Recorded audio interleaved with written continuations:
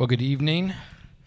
Uh, it's my privilege to be with you tonight and to share the word that God has placed on my heart. Last week, I was asked by the coordinator for the Sunday evening Vespers service at the village to fill in for the preacher who uh, had to cancel this past weekend. The coordinator attends worship here at Trinity, and he said, given my upcoming return to the Navy as a chaplain, I would make an acceptable substitute preacher for their Memorial Day service.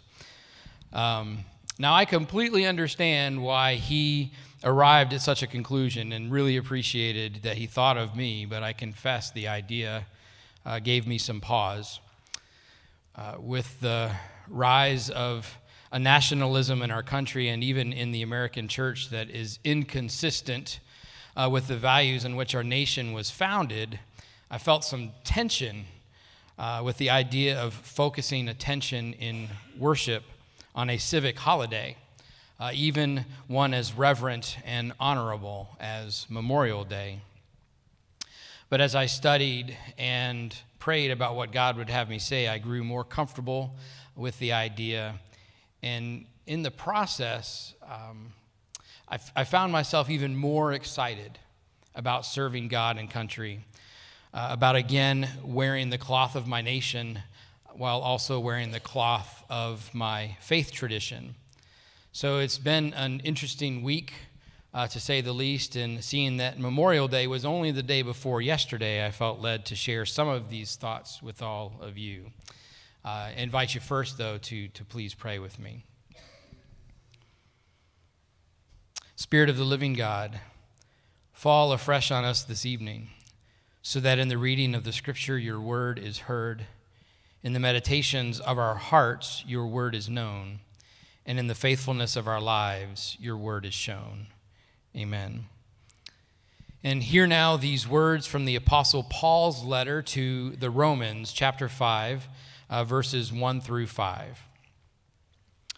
Therefore, since we are justified by faith, we have peace with God through our Lord Jesus Christ, through whom we have obtained access to this grace in which we stand, and we boast in our hope of sharing the glory of God.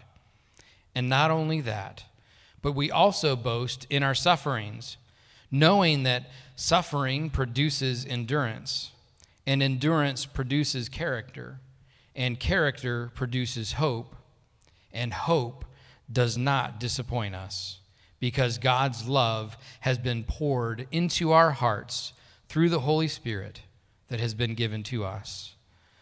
The Word of God for the people of God, and God's people respond, Thanks be to God. Across our country on Monday, we Americans observed Memorial Day, a day set apart to remember more than 1,300,000 men and women who have died serving our country during times of armed conflict and war. 250,000 flags, American flags, were placed on the graves of Arlington National Cemetery. Now, decorating graves is the oldest of Memorial Day traditions. In fact, the holiday was originally called Decoration Day and honored the soldiers who died during the Civil War. Flowers were placed on graves every year on May 30th.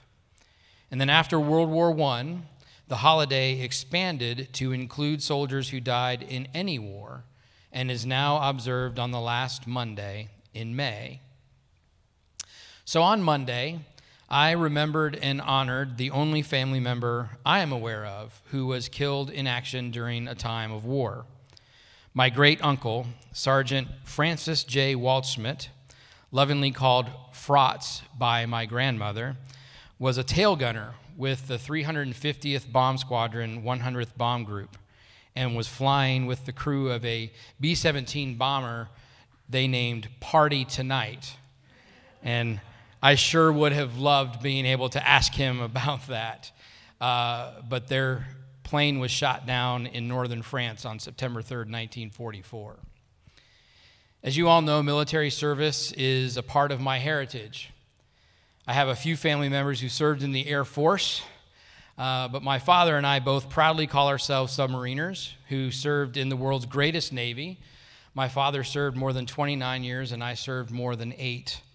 And as you also know, I am so grateful that God has called me and granted me the privilege of returning to naval service later this summer to represent the United Methodist Church as a commissioned officer in the Navy Chaplain Corps. During the tradi- traditional services on Sunday, specifically during the sacrament of Holy Communion, Alice led us in singing Eternal Father, Strong to Save, a hymn appropriate for Trinity Sunday with its strong Trinitarian lyrics, as well as Memorial Day, because it happens to be the official Navy hymn. I was deeply moved as we sang these words from the fourth stanza O Trinity of love and power, all travelers guard in danger's hour. From rock and tempest, fire and foe, protect them wheresoever they go. In some ways, I believe there is a connection in these words to the work I feel called to do as a Navy chaplain, this idea of protection. The courageous men and women of the Navy, Marines, and Coast Guard and their families sacrifice much to defend our freedom, and they all deserve much in return, not the least of which is nurture, counsel, and support to help guard their spiritual well being as they faithfully serve our country. So it will be my greatest honor uh, for me to serve God and again serve my country by being a member of the Navy Chaplain Corps and carrying out just such a mission. In wartime or not, hardship and suffering is always a part of the equation of military service not the least of which stems from extended deployments and separation from loved ones and all that is held dear. So it is critically important then that there be a process that helps people move from suffering to hope. And thankfully, such a process exists not only for our military and their families, but also for us. In his letter to the Romans, the Apostle Paul encourages us to boast in our sufferings, knowing that suffering produces endurance, and endurance produces character, and character produces hope. From suffering to hope. A process more than fitting to remember on days like Memorial Day. A process that, frankly, is needed as we continue to reflect on the war in Afghanistan, the longest in our country's history. Terrorist attacks that still happen all over the world. Even the innumerable horrific school shootings we regularly see in the news. There is certainly enough happening in our world around us that some days it feels like a process for moving from suffering to hope is needed now more than ever. I'm sure you've heard about the story of suffering and hope from which the movie Flag of Our Fathers was made. Alan Wood wanted to honor the sacrifices made by his brothers on Iwo Jima during World War II. For five weeks in 1945, American forces fought to capture this volcanic island from the Japanese. And in the process, about 6,800 U.S. troops died. Wood's ship was beached close to the base of Mount Suribachi, a rocky 500 foot peak on Iwo Jima. After heavy fighting, armed forces managed to scale the peak and hoist a flag, but the flag was too small. A dusty, dirty, and tired Marine boarded Wood's ship, asking for the biggest flag available. He needed something that could be seen to give hope to the men still suffering through the invasion. Wood produced a 37 square foot flag that he had discovered months earlier in a Pearl Harbor Navy depot. That flag was put on a length of water pipe and raised by five Marines and a Navy corpsman on the peak of Mount Suribachi. Photographer Joe Rosenthal took the iconic picture that we've all seen, a frozen flash of history that won the 1945 Pulitzer Prize. He didn't talk much about it, reports Wood's son.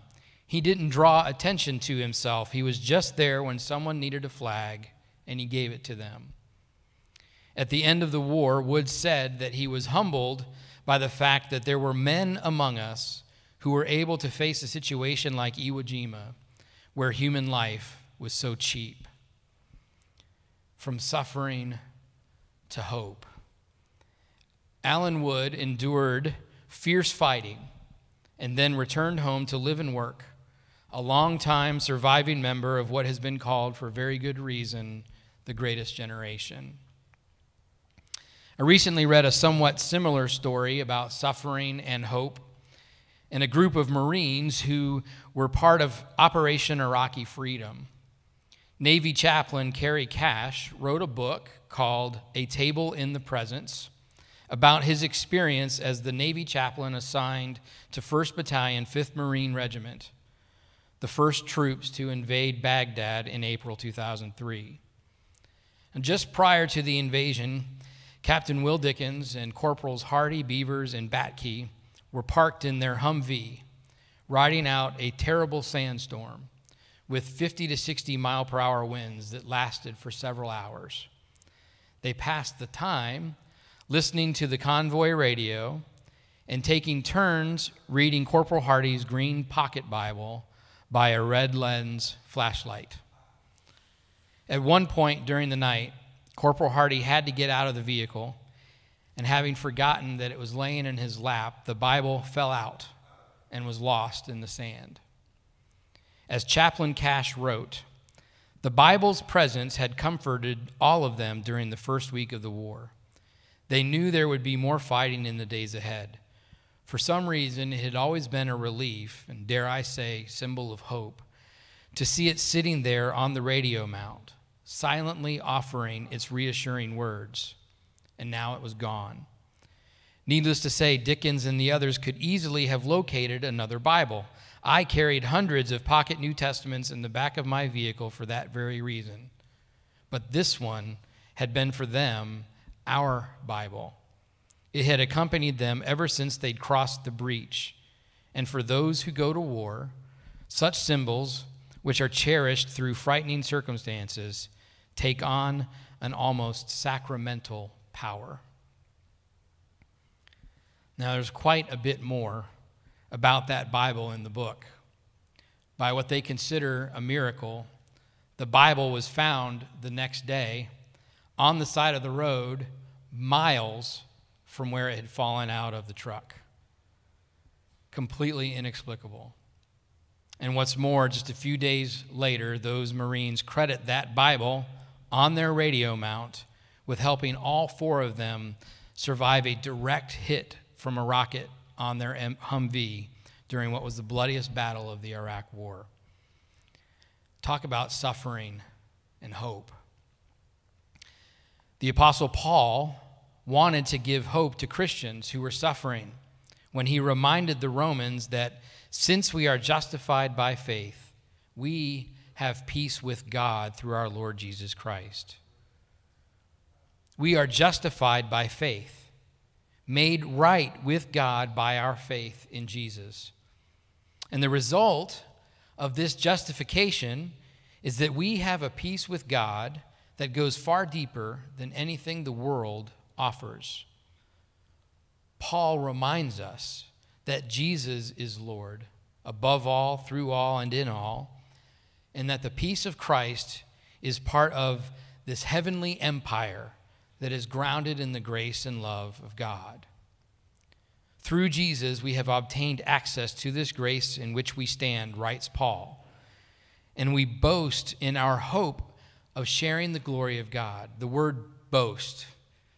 Now, that can be a bit problematic for some because boasting carries a, a negative connotation. Alan Wood never boasted about providing the flag to the Marines at Iwo Jima. And we probably would have thought less highly of him if he did. Hey, I did that, you know. But the original Greek word is rendered in other translations as rejoice, which carries a more positive spin on this celebration of sharing the glory of God. We rejoice in our hope of sharing the glory of God. Paul's jubilant spirit carries over to the next verse where he says that we also rejoice in our sufferings, knowing that suffering produces endurance, and endurance produces character and character produces hope.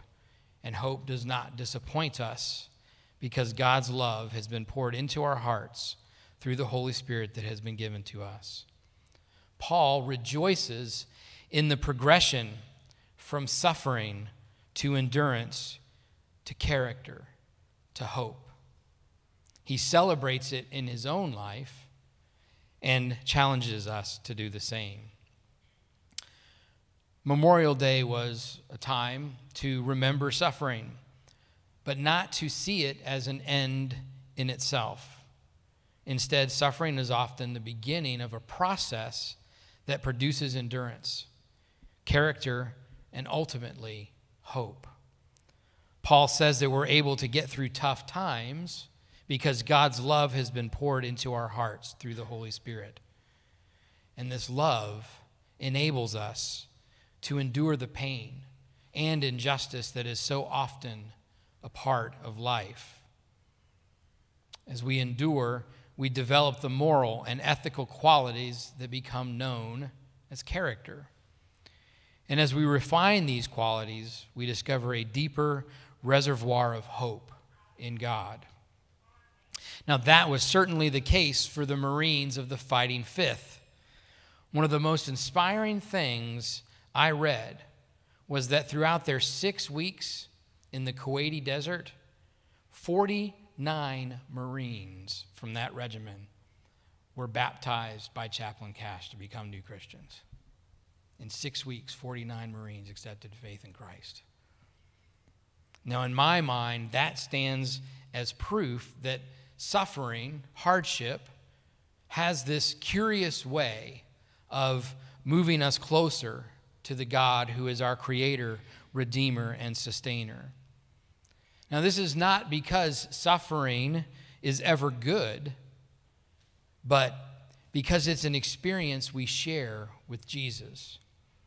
We are reminded that suffering is a part of God's own experience, especially in the cruelty that was inflicted on Jesus in his trial and crucifixion.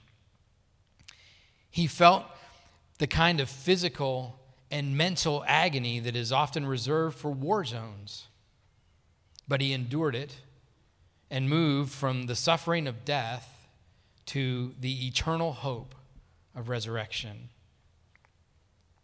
Suffering is a part of every human experience. And because we live in a violent world, as much as we would like it to be different, we can never realistically expect otherwise.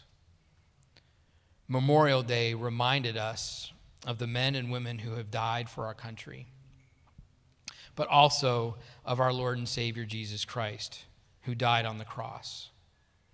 We remember their deaths with gratitude for the many ways they continue to move us from suffering to hope. And to that I say, thanks be to God.